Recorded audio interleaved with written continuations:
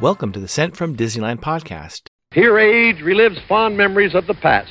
If it's your first time joining us, welcome. On this podcast, we'll take a journey into the past and explore Disneyland, Disneyland history, and more with mementos, snapshots, souvenirs, and postcards sent from Disneyland from 1955 to the present. Let's start by thanking my patrons from patreon.com. You can join in at any level to support the show and receive snail mail from my trips to Disneyland and from my desk, plus some sneak peeks and bonus content.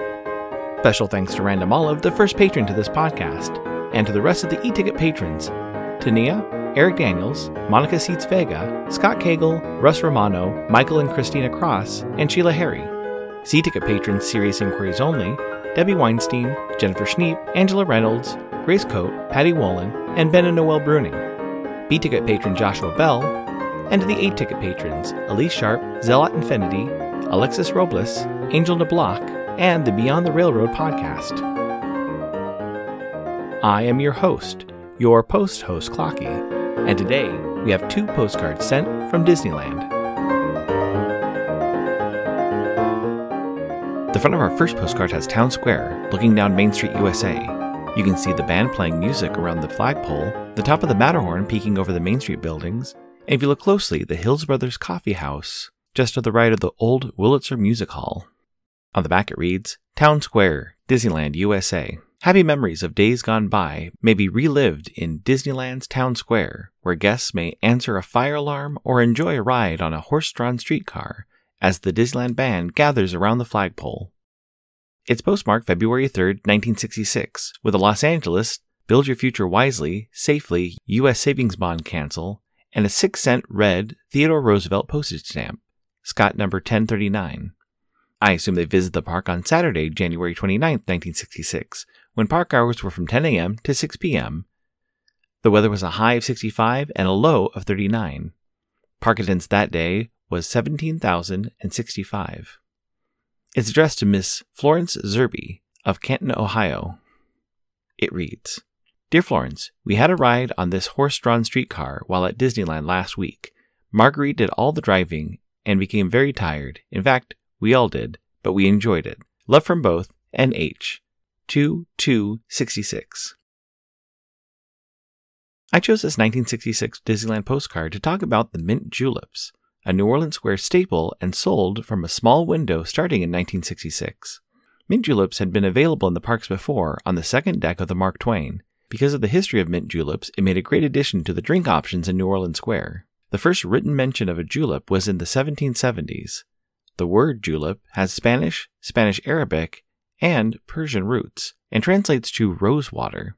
In 1784, a medical note, a doctor prescribed a mint julep along with some other treatments for their patient's ill condition. Some historians say that mint julep started out as a remedy on farms for minor aches and pains. Chris Morris, a master distiller at Woodford Reserve, explained the basic ingredients in a food and wine article. Quote, bourbon to soothe your aches and pains, sugar to give you some energy, and mint to help open the eyes. This is also confirmed in an 1803 book published in England describing mint juleps as a drink taken in the morning by Virginians, made with a dram of spirituous liquor and steeped with mint. The author continued, explaining that the drink was how he obtained his love for whiskey. The basic recipe for a mint julep is 2 ounces of bourbon whiskey, 4 mint sprigs, 1 teaspoon of powdered sugar, and 2 teaspoons of water, made by muddling the mint, sugar, and water in a stainless steel cup then, filling the cup with cracked ice and bourbon, stirred until the cup frosts. The mint julep is also the official drink of the Kentucky Derby. A mint julep in Disneyland is non alcoholic and can be enjoyed by everyone. A recipe to make the Disneyland version at home includes the following ingredients sugar, water, creme de menthe syrup, frozen lemonade concentrate, frozen limeade concentrate, and green food dye for color. This can also be garnished with lemon wedges, mint sprigs, and or maraschino cherries. I'll put links in the episode description if you want to try to bring a little bit of New Orleans Square to your home or your next party. Looking at some vintage maps, the Mint Julep Bar sold mint juleps, lemonade, and ice cream in the late 60s, but by the mid 70s had added cho fritters to the menu. Currently at the park, the Mint Juleps menu includes mint juleps, sometimes a seasonal flavored julep, classic and seasonally flavored Mickey Mouse shaped beignets, coffee, soda, and other drinks. Recently, You could even get a souvenir mint julep tin cup to enjoy your cold beverage. Other places in the park that offer a mint julep are Cafe Orleans for a non alcoholic version or a classic bourbon version, the Blue Bayou Restaurant, which offers a 31 Royal Street signature julep, and the Magic Key Terrace in Disney California Adventure. Add some flair to your mail by checking out stamps at Enfield Post. You can explore different stamp options on our Etsy site, grab some great deals by following EP Sunday Sales on Instagram, or create something special and have her design a stamp array for your invitation or celebration. You can head over to EnfieldPost.com and explore all the different vintage postage stamps you can use on your next card or letter. That's E N F I E L D P O S T on Instagram and EnfieldPost.com for your wedding and vintage postage needs. Enfield Post is the official postage stamp sponsor of the Sent from Disneyland podcast. The front of our next postcard has monorail red cruising over the Submarine Lagoon waterfalls. It's framed by another section of the monorail track, and if you look closely, you can see some streetlights for Autopia. On the back it reads, America's first daily operating monorail trains transport passengers over a concrete highway in the sky between Disneyland and the Disneyland Hotel on the Disneyland Alweg monorail system. It's postmarked April 2nd, 1966, with a Long Beach National Children's Dental Health Week cancel and a 5 cent gray George Washington postage stamp, Scott number 1213. I assume they visited the park on Wednesday, February 2nd, 1966, when park hours were from 10 a.m. to 6 p.m. The weather was a high of 67 and a low of 44, with 0.12 inches of precipitation. Park attendance that day was 7,174. It's addressed to Barbara St. John of Seattle, Washington. It reads Hi, Barbara. You don't know me, but your name was on a letter I got, and it told me to send you a postcard. I live in Long Beach and I'm 15. I go to Long Beach Polytechnic High School, and I used to live in Seattle. Ick. Gotta go. Hope you get lots of postcards. Patsy. While looking through my 1966 postcards, I found this one. Patsy's description of getting Barbara's address in a letter reminds me of postcrossing. Since World Postcrossing Day is coming up on October 1st, I thought this postcard would be a good reason to talk about postcrossing. Postcrossing launched in 2005 after Paulo, a student in Portugal who was a snail mail enthusiast, wanted to connect people with the same interest in getting postcards in the mail. With some help from his friends, the Postcrossing Project launched on July 14, 2005. Its goal to connect people across the world through postcards, independently of their country, age, gender, race, or beliefs. I was writing postcrossing postcards a few weeks ago in the Golden Horseshoe when a tour guide cast member asked me what I was working on. The postcrossing website explains postcrossing like this The goal of this project is to allow everyone to send and receive postcards from all over the world. The idea is simple. For each postcard you send, you will receive one back from a random postcrosser from somewhere in the world. The steps for postcrossing are simple. Request an address from the website, pick a postcard based on either what you have or the preferences of the person you've been assigned, write something nice, or there may be some topics included in the recipient's profile, add stamps and the postcrossing ID number attached to this postcard, and send it.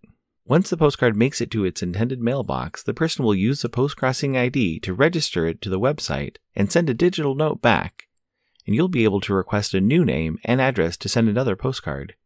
For every postcard you send, someone else, anyone participating in postcrossing, not necessarily someone you have sent a postcard to, will send you a postcard, which you will then register and send a digital thank you. Depending on how many postcards you've sent and received, you're able to send more and more postcards. I've been sending out postcrossing postcards for over four years and have sent over 375. Some from home, some from Disneyland, and some while I've been in other locations around the US.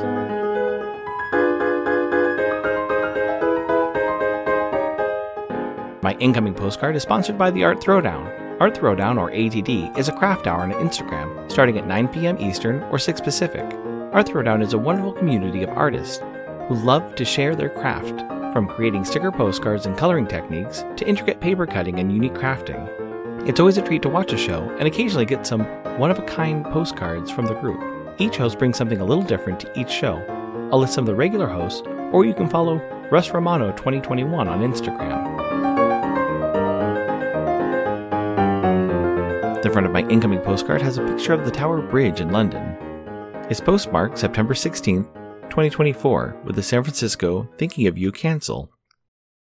And a 37 cent spay and neuter puppy postage stamp and a 20 cent credit union Act of 1934 postage stamp. Scott numbers 3671 and 2075 respectively. It reads 91524. Hi Clocky. I hope you are doing well. Congrats on the continued success of your podcast. This is the Tower Bridge from my London slash Paris landmark set. We had a wonderful trip. Have an excellent week, Jim. Thank you so much for the postcard, Jim. Also, thanks for the kind words and stamps. It's always fun to pull out my Scott 2018 US Pocket Stamp Catalog to find the Scott numbers for the unique stamps that you and some other friends send with your mail. It's always great to look back at the recent history of stamps. Jim is also responsible for getting me into postcrossing, and I randomly pulled his name once to send a postcard. Of all the postcrossing postcards I've sent, I've known two of the recipients before drawing their names, and had met one, Jim, in person. Thanks for listening to Sent from Disneyland. If you enjoyed this podcast, please subscribe and tell your friends. It would also help to leave a five star rating and comment on whatever podcast platform you use. If you'd like to support the show financially, please check out our Patreon page at patreon.com slash sent from Disneyland. You can find me on Instagram and TikTok at sent from Disneyland or my website, sentfromdisneyland.com. For questions and comments, send me a postcard addressed to Sent from Disneyland, P.O. Box 44, Hood, California 95639.